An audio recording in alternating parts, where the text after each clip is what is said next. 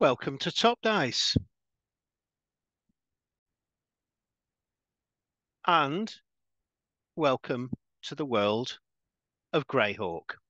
That's what you see before you now. Hi, I'm Aid. Welcome to this Top Dice episode. It's going to be the first of quite a few I'll be doing about uh, the world of Greyhawk. Greyhawk has uh, hit the news again recently. It's looking like it's going to be appearing as uh, front and center in the new version of fifth edition. Um, but this is something that uh, a world I've played in for many, many decades, and it's a world I love. It's the world I actually sort of started Dungeons and Dragons in properly. Um, so there's a lot of love here from me about it. So I thought I'd share that with you, and I'm going to do that through a series of podcasts, basically telling you about Greyhawk. I'll be covering quite a few different things in this particular episode. I'll cover the basics, which is basically the setting, the basic setting. I'll cover the calendar, uh, and in future settings, so future episodes, I'll cover um, settings, as in various parts of the uh, the the actual world. So various lands, cultures. I'll cover deities. I'll cover adventure points. Um, I'll cover geographical features and just about anything else. Please click subscribe. That way, you're not going to miss anything. Hopefully, you'll learn a bit about the world through this. Um, and I'm going to try and keep it from a non historical point of view so you can use that information more or less in whatever Greyhawk setting you wish to actually use for yourself, whether it's the older, whether it's the newer. The information will be there and current. So, the basics. What is Greyhawk? Greyhawk is a setting for Dungeons and Dragons. It started off as uh, part of the uh, original D&D and moved forward through to Advanced Dungeons and Dragons 3.5. Um, wasn't really touched on in fourth, but it did uh, it did make a few couple appearances, and um, again fifth edition. So it's been a while since we've seen anything really about uh, about Greyhawk, but Greyhawk is just the name of the free city within this particular part of this world. So the world, what is it? The world is called Oerth. O E R uh, O E R T H Oerth.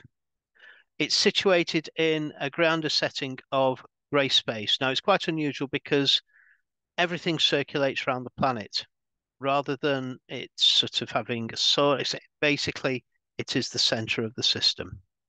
So grey space, a bit different than uh, what you would actually expect, but quite interesting as well. Now, the planet itself, uh, like I said, it's called Oerth. Um, the area we'll be looking at specifically, which is the area that's covered on this planet, is called the Flanaess. Um, and that's been with us for quite a while as that. And Greyhawk is, I say, a tiny little city when it comes down to it, in a much larger realm. And that's what Greyhawk actually is. Now, the world uh, itself, it's got a couple of satellites. It's got two moons. So the first moon, called Luna, that's a whiter disk in the sky. Uh, it's the larger moon of the two and that has a cycle of 28 days. So every 28 days, you'll actually see it in all its glory. There's also a second satellite, a smaller moon, which is about is aquamarine sort of semi-bluish color, and this moon is called Celene. Now, it's also called the Handmaiden as well as this particular uh, moon, and that has a different pattern entirely, and that comes to the fore and becomes a full moon once every three months. So if you've got lycanthropy, depends which moon you're aligned to.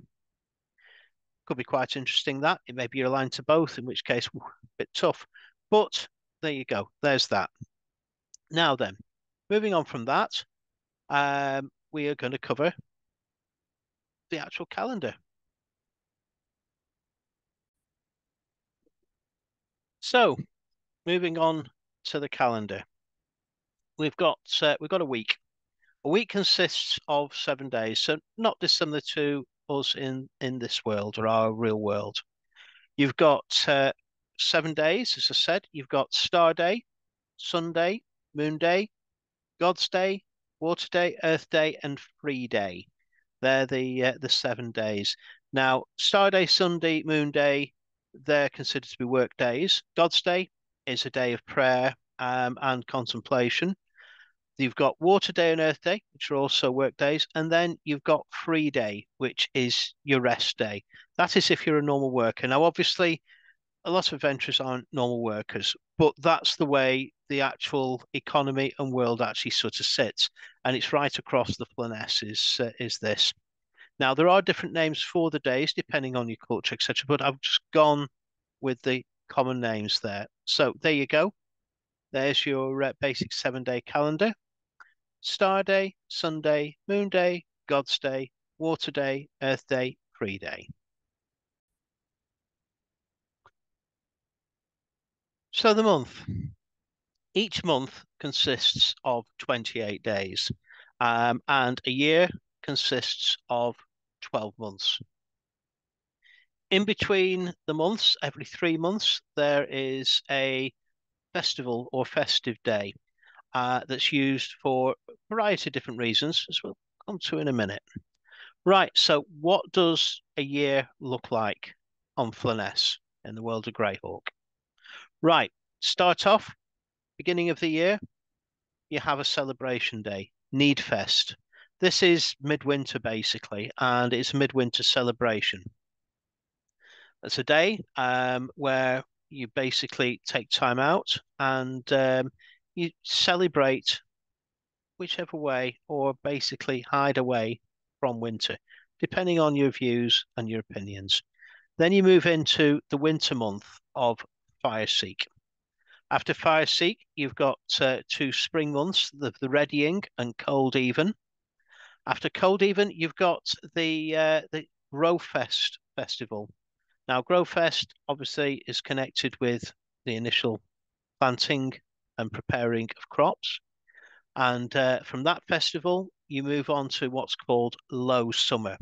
Your low summer consists of three months. You've got planting, flock time, uh, and Wealsun. After Wealsun, there's another celebration day, and that's Richfest. That's your midsummer festival, that one, which is usually quite popular.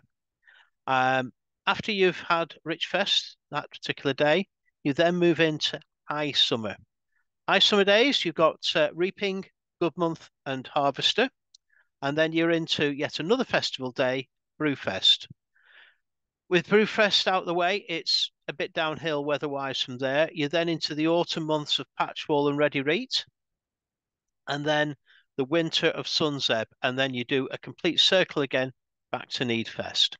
So there you go. Those are your months and your festive days. So you start off with Needfest, Fireseek, Ready and Cold Even, Festival of Growfest, Planting, Flock Time, Wealsun, Festival of Richfest, Reaping Good Month Harvester, Brewfest Festival, Patchwall Ready Rate Sunsebb. And that is your calendar there. So there we go. That's your basic first introduction to Greyhawk. Uh, there's going to be quite a lot more, as I sort of said. Uh, the next one, I'll be looking at uh, potentially um, the regions of Greyhawk and giving you an overview on that side, just so you actually sort of know, have got some idea of how this world is actually sort of built up. Just remember, the Flanaess and the area we're looking at is just a very, very small proportion of the actual planet itself. So, welcome to Greyhawk. I'm glad you joined me. Make sure you click subscribe, and I'll see you for the next one.